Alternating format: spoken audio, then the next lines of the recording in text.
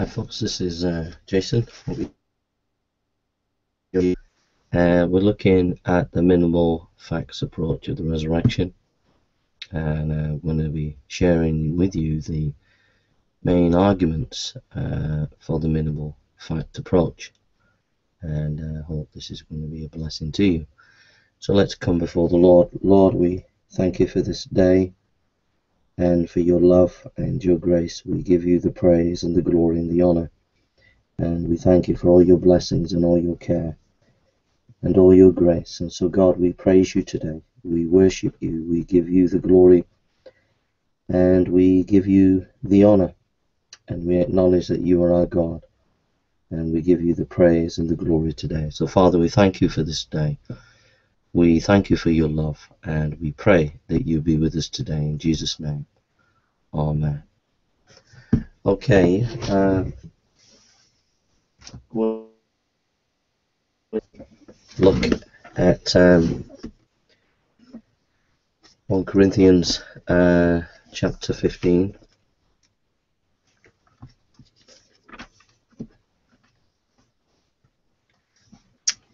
1 Corinthians uh, chapter 15.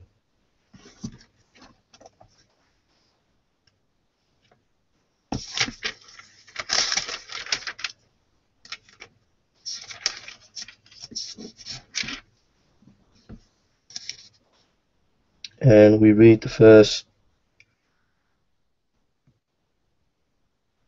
10 verses.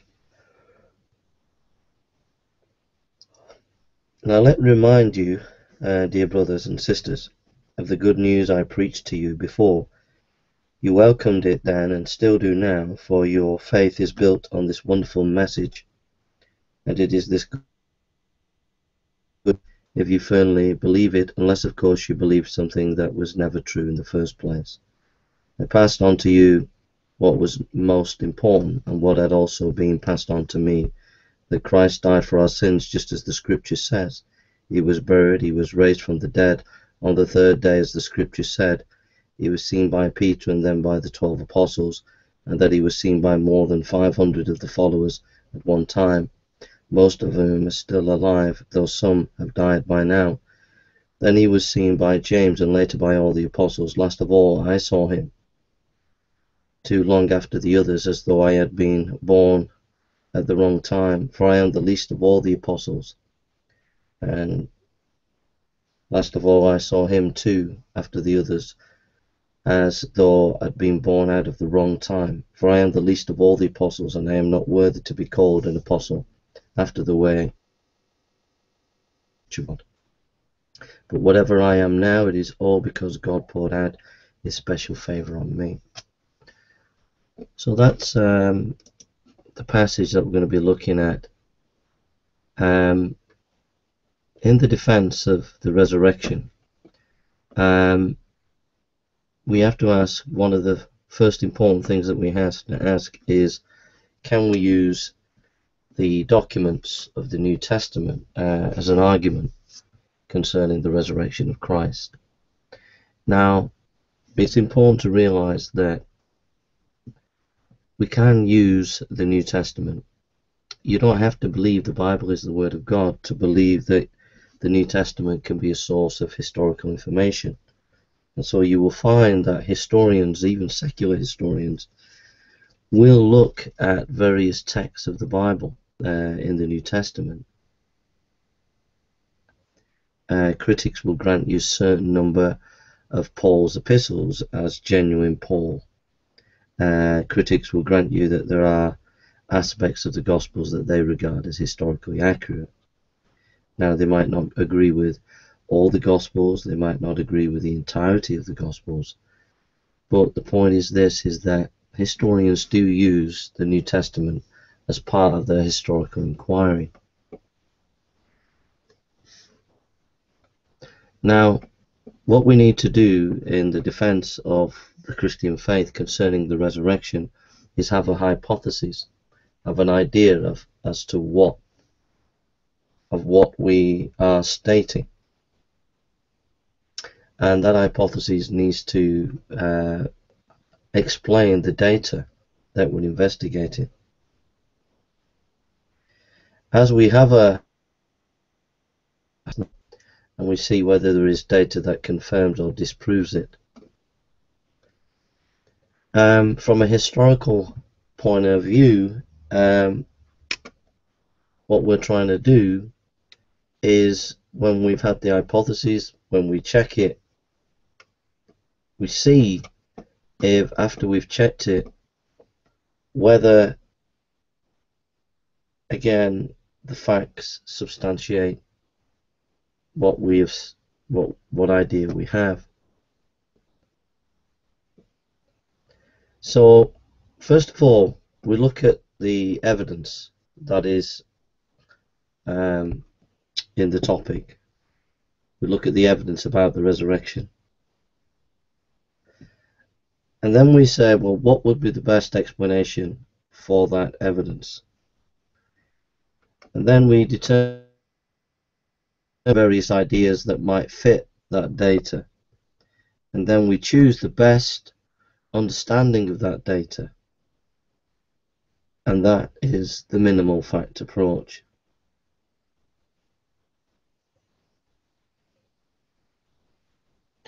See uh, Behan McCullagh, M C K uh, M C C U L A A G H, in his book Justifying Historical Descriptions, gives us uh, a number of criteria to work on in our historical investigation. Number one, the hypotheses together with other true statements must imply further statements describing present observable data. The hypotheses must have greater explanatory scope, that is, Im imply a greater variety of observable data than rival hypotheses. Three, the hypotheses must have greater explanatory power, that is, make the observable data more probable than rival hypotheses. 4. The hypotheses must be more plausible, that is, be implied by a greater variety of accepted truths, and its negative implied by fewer accepted truths than rival hypotheses. 5. The hypotheses must be led ad hoc, uh, that is, include fewer new suppositions about the past not already implied by existing knowledge than rival hypotheses. Six, the hypothesis must be disconfirmed by fewer accepted beliefs, that is, when conjoined with accepted truths imply fewer false statements than rival hypotheses. And seven, the hypothesis must be must so exceed its rivals in fulfilling conditions uh, to six that there is little chance of a rival hypothesis after further investigation exceeding it in meeting these conditions.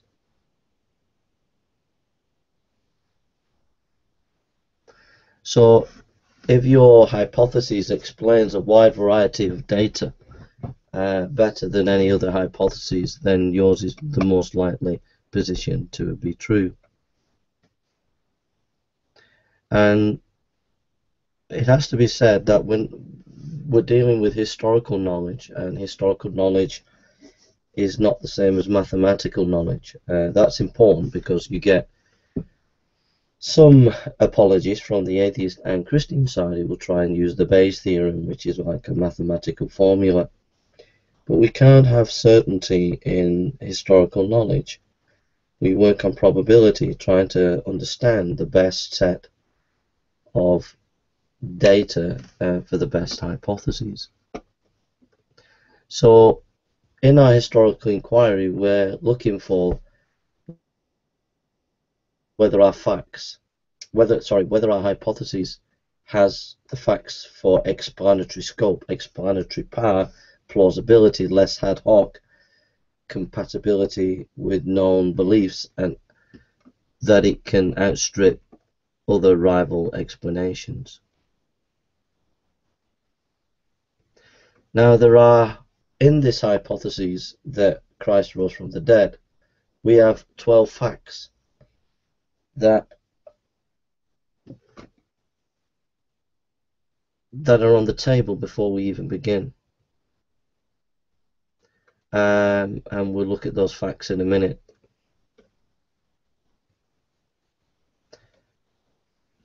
Now, we can know whether Christianity is true or not because it can be falsified. Christianity hangs on 1 Corinthians chapter 15, the idea that Christ rose from the dead. All we have to do to prove that Christianity is not true is to provide the evidence to show that Jesus didn't rise from the dead. So Christianity is falsifiable. If the Christian faith can be, if evidence can be given against it to prove that it hasn't, Jesus hasn't risen, then that evidence can be provided. But if it's true, if Christianity, if Christ did rise from the dead, then evidence should be able to be provided to counteract those who would argue against it. But either way, it can either be proved or disproved. There is a criteria of uh, falsifiability in the whole application. Now, in a debate with Antony Flew, Gary Habermas stated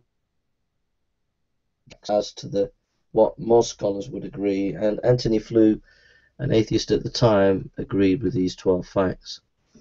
Fact number one, Jesus died due to the rigors of crucifixion.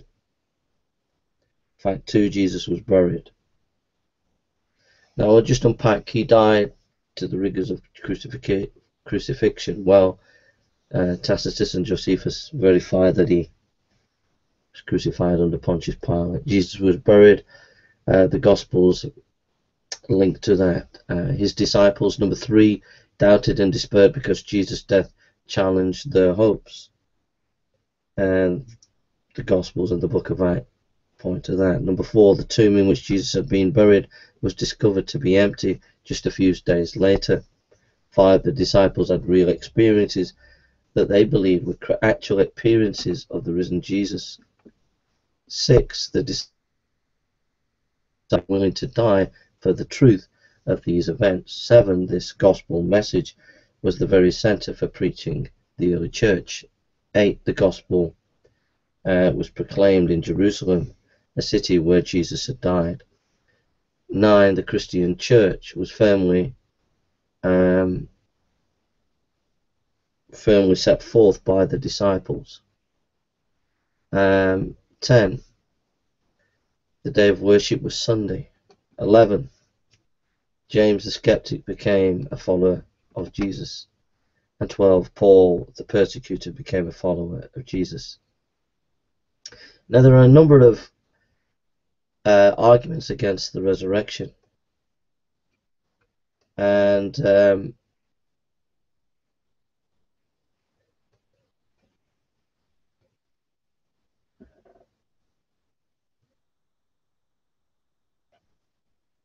the arguments against the resurrection, some of the arguments can go like these. The tomb was not known by the apostles, but that doesn't take into account the facts of 4 and 12. Maybe the woman came to the wrong tomb doesn't take into con uh, consideration facts 5 and 12. Some may say it was a uh, it was a legend, but this doesn't take into consideration all the facts from 1 to 12. And just uh, an aside there, I've checked uh, the history of Mithraism from 500 BC to uh, 600 AD, and uh, it's it's uh, interesting to note there's very little documentation about these religious uh, beliefs that skeptics say was part of forming Christianity. Jesus could have had a twin, but that would would not match with facts 4 and 11. What about people hallucinating? How does that account for facts 5, 11 and 12?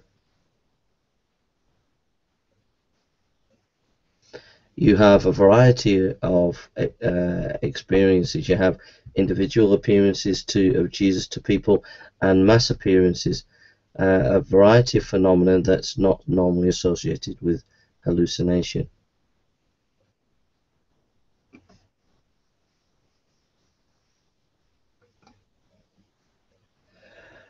And also, if it was an, an, an, any uh, hallucination, then what is interesting there is it wouldn't that idea would not accord with the uh, Jewish concepts of resurrection. Um, they they knew the difference between a ghost and an illusion, an illusion and a physical resurrection.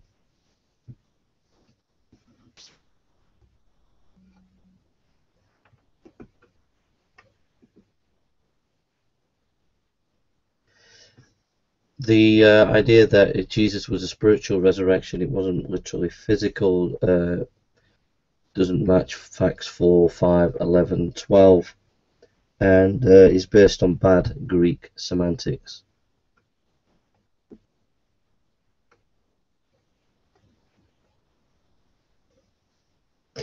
Some might say that the resurrection body was stolen. This doesn't explain fact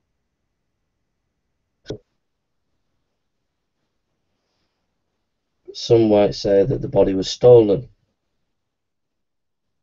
hid by the authorities, but this doesn't explain facts 5 and 12.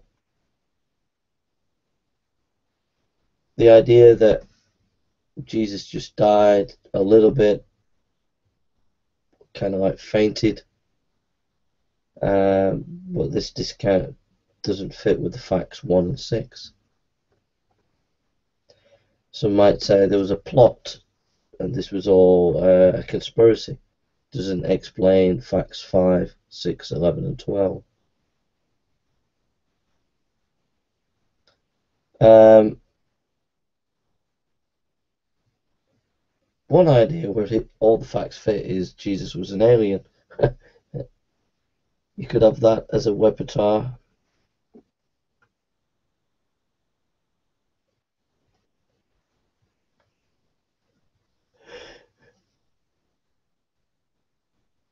If you read uh, Gary Habermas and J.P. Moreland, page 127, 128, Beyond Death, uh,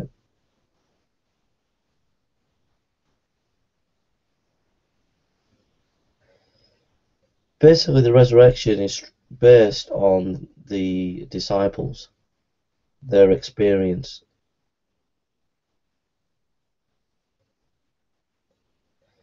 This experience is based on eyewitness material. This eyewitness material is difficult to explain away on naturalistic assumptions.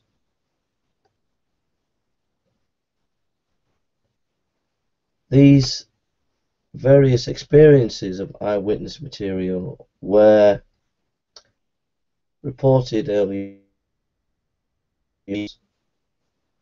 um, making a, a very strong claim that that there was historical continuity that in the story that it, it wasn't just like made up and developed and rehashed by various editors and various groups, but there was already early at the beginning of Christianity a, a consistent story of the resurrection of Christ.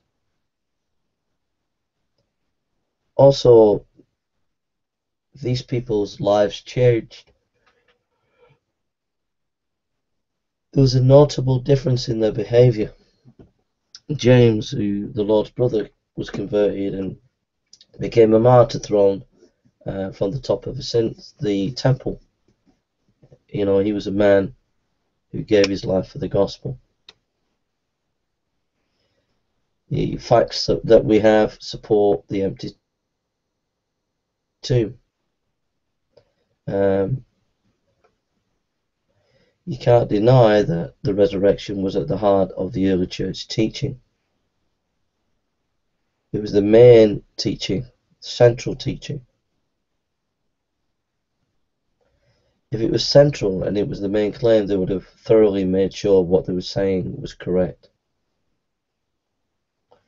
And what is most devastating and all against all the critics is that this clear teaching that they had about Christianity they preached it about his resurrection in Jerusalem, that would be the last place you would preach it.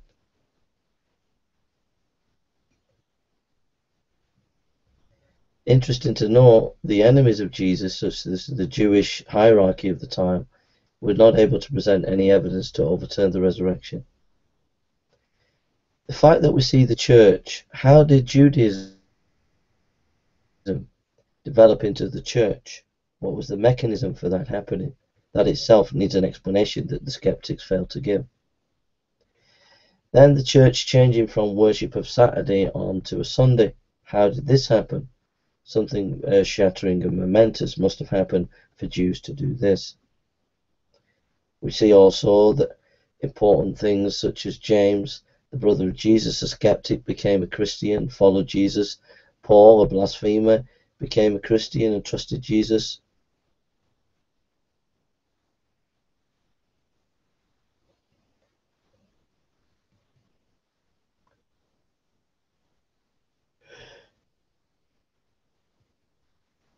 As we look at these various evidences, we see that skeptical ideas do not explain the data.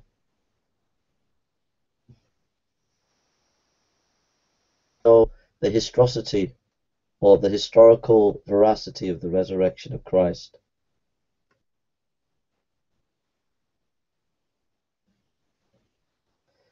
And it's interesting to note that many scholars recognize the power of the minimal fact approach.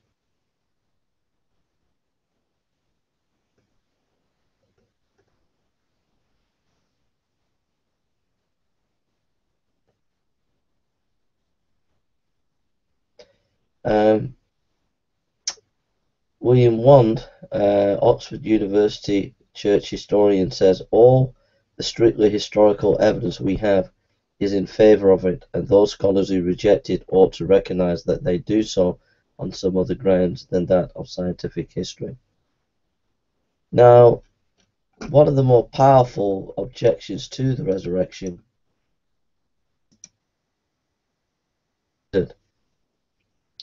is Hume's uh, contention. And that contention is very simple. Uh, he would say that basically uh, miracles don't happen because nature just doesn't uh, uh, do that. We see a uniformity in the nature, and uh, we just don't see miracles happening. But David Hume developed a criteria to investigate miracles. There was a miracles claim, miracle claims during the um, French Catholics uh, in the time of Pascal and these miracle claims um, Hume decided to go and look back in history and investigate them. He had a set of about five or six criteria, and when he used the criteria on these miracles, he said that he had to admit that they'd taken place. And then he realized that, well, he had a more scientific explanation of miracles. So even though the historical evidence shows that miracles took place at the time of Pascal. Um, and David Hume, recognizing the power of this argument, um, then goes and denies it on the grounds not of evidence but on the nature of science and, and contingency. I think that if you go to the quantum level uh, in physics, you will find that things are much more complex and nuanced than we really thought. And so, therefore, to be dogmatic and say miracles have not happened when something in, at the quantum level could come into as this existence or work with nature to change a situation is a possibility. It should be an open possibility to study the interjection of our way of thinking um, so Hume is pretty easy to debunk by using Hume really. So he denies miracles not based on evidence but based on presupposition. So that's the minimal fact approach to the resurrection. And uh, I'll be doing another video um, on another subject in a second. Thank you for listening and God bless.